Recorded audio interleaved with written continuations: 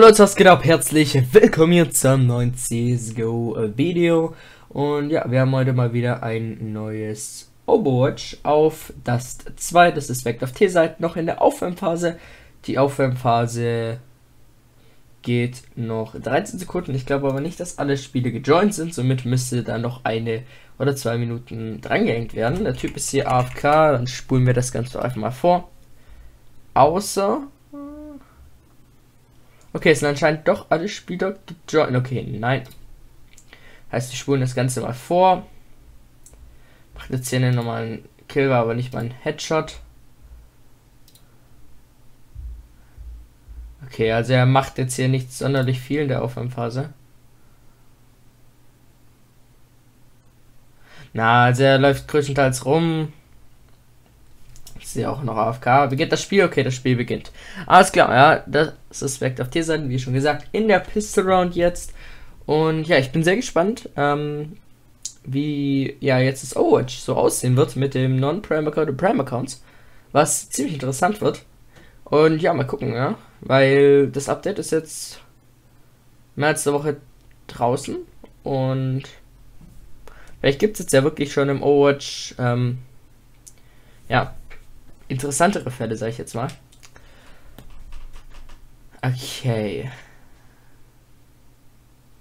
Den Headshot bekommt ihr da oben nicht. Switcht lieber zu USP.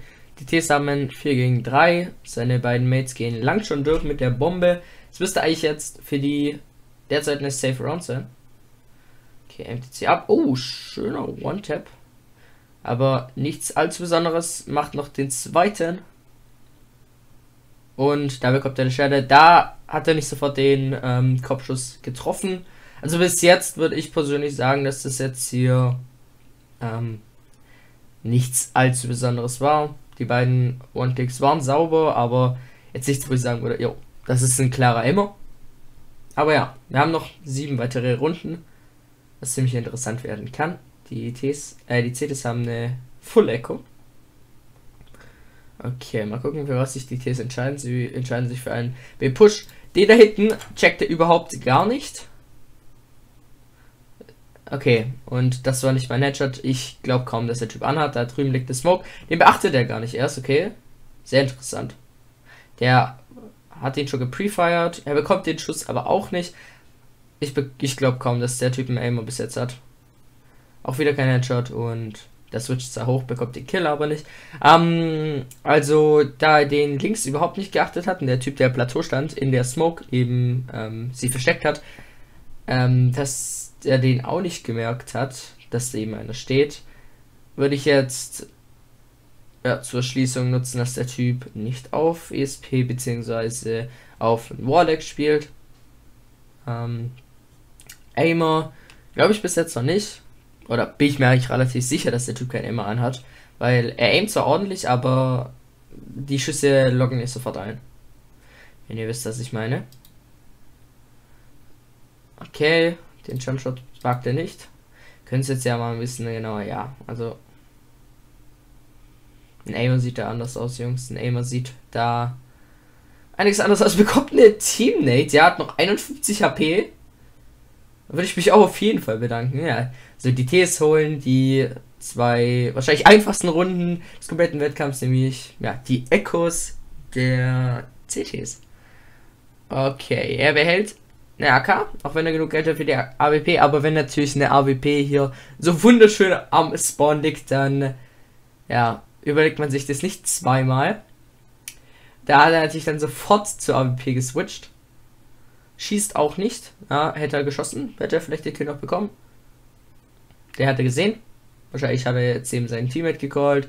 Teammate bekommt ihn aber nicht hin. Somit ist unser Terrorist jetzt in einem 4 gegen 1. Er geht schon ein bisschen in eine Safe-Position, wo er seine Waffe dann schließlich safen kann. Macht den ersten Frag mit einem 3 gegen 1. Wäre machbar. Das Problem ist halt, dass er von dem CT gebacksteppt wird. Ich glaube, das liest er auch mittlerweile relativ gut. Also das ist ein vollkommen normaler Move, ja. Wenn du in einem 3 gegen 1 bist, deine Position angesagt ist, dann kommt es gut auch, ja, eben vor, dass du gebackstackt wirst. Jetzt auch ziemlich interessant ist, dass er die Ecken jeweils anschaut. Der CT hat jetzt übrigens gesehen, somit rotieren jetzt die CDs zu A. Und ähm, er hat immer noch seine Digital-Spawn ähm, gehabt, ja. Und er hätte ja relativ schneller laufen können mit dem Messer, hat er aber nicht gemacht. Ja, ja, ja.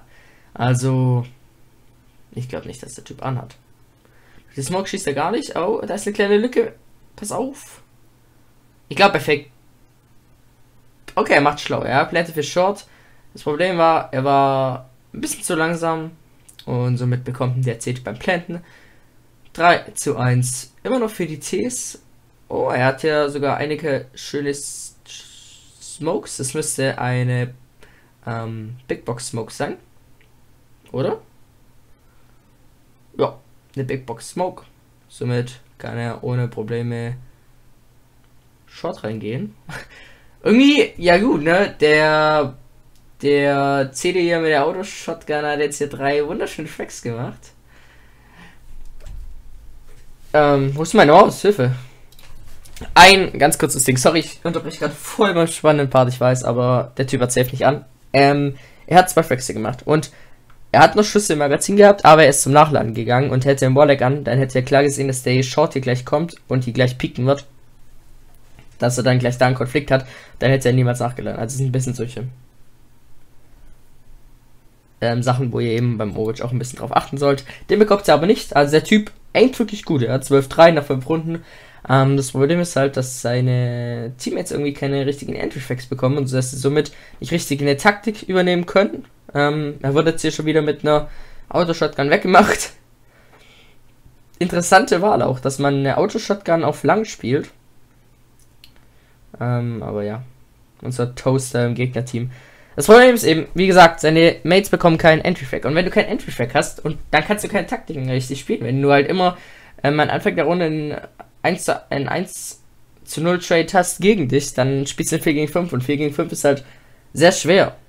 Vor allem auf einer Map wie das 2, wo du eben ähm, Splits machen kannst. Aber für einen Split brauchst du eben dann des Öfteren 5 ähm, ja, Leute, wo dann auch drauf mitarbeiten. Und hier sieht man es eben, sein seine Mates fragen halt nicht dementsprechend. Er geht jetzt ja auch selber für zum Entry Frag. Das Problem ist halt. Okay, er bekommt jetzt den Kill. Das könnte jetzt sogar interessant werden. Das Problem ist halt, er hat jetzt eine Autoshotgun aufgepickt. Und seine Mates verlieren schon wieder 1 gegen 1 Trades. Also das ist wirklich ein Problem, ja. Und ich kann sozusagen schon den Salt von dem Typ mir riechen, weil seine Mates machen eigentlich gar nichts, er macht alles, aber sie kriegt trotzdem nicht in die Runde zu gehen, ja. Trotzdem, ähm, ich glaube, der Typ war vollkommen unschuldig. Und ja, könnte Smurfer sein, könnte auch einfach nur ein Typ sein, der ein bisschen mehr Ahnung wie seine Mates hat. Ähm, vielleicht ein Solo was auch immer. Und ja, was haltet ihr von dem Typen? Denkt ihr, der hat ja an oder nicht? Schreibt es mir in die Kommentare. Und ja, wenn euch das Video gefallen hat, lasst eine positive Bewertung da. Bis zum nächsten Mal, Leute. Haut rein und ja, ciao.